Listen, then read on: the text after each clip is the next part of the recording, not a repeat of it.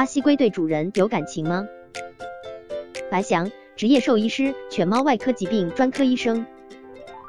巴西龟的神经没有人类发达，感情也没有人类丰富，只有高兴、恐惧这些简单的情绪表现，所以对于主人没有什么强烈的感情。